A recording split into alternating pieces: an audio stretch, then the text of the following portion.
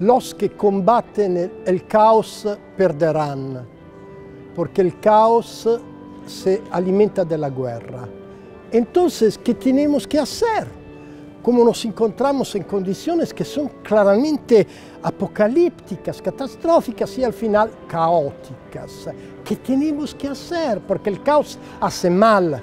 El caos es un sentimiento de no poder encontrar sí mismo y los otros.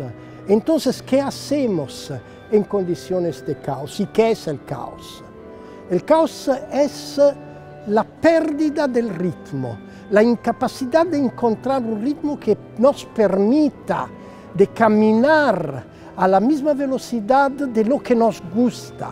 El caos es una situación en la cual nuestro cuerpo no puede gozar, porque los, los impulsos, las, las, estimulaciones que golpean el cuerpo son demasiado fuertes, demasiado veloces, demasiado intensas, demasiado, demasiado, demasiado. El caos es demasiado, demasiado para tu cerebro. Entonces, ¿qué hacemos en condiciones de caos? Pensamos que el caos es una oscilación que ha perdido la relación con nuestra, nuestra vibración. El caos es un problema de vibración, es un problema de ritmo en relación a una vibración que no somos capaces de aguantar, de transformar en nuestra vibración. Entonces, ¿qué se hace en una condición de caos?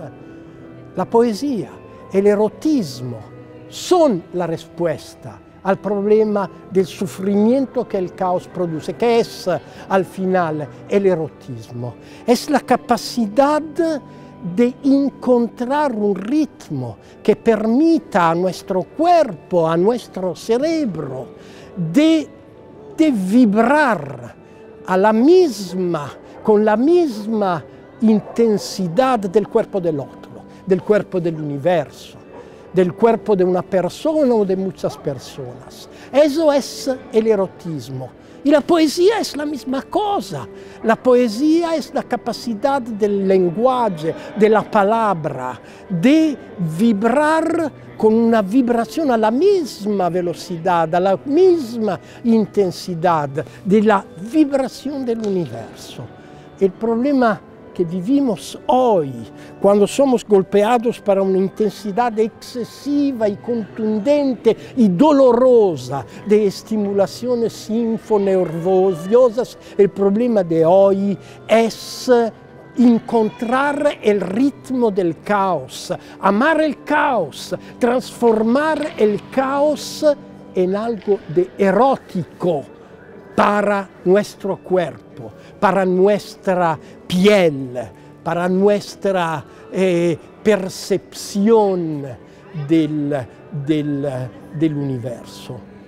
Eso yo lo llamo, si quieres, erotismo, la capacidad de entender lo que no es eh, entendible, la capacidad de vibrar a la misma velocidad de un universo que se ha hecho demasiado sufrente, demasiado opresivo, demasiado, ¿cómo puedo decir? Hay un problema de respiración en el caos, hay un problema de respiración en, en, en, en el erotismo.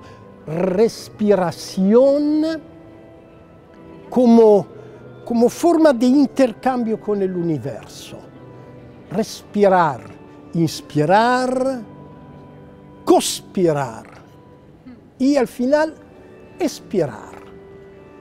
El erotismo es el solo discurso interesante sobre la muerte y conocer la muerte, conocer la expiración como nuestro destino feliz, es la sola manera para sintonizarse con la realidad amistosa del caos. Buenas noches.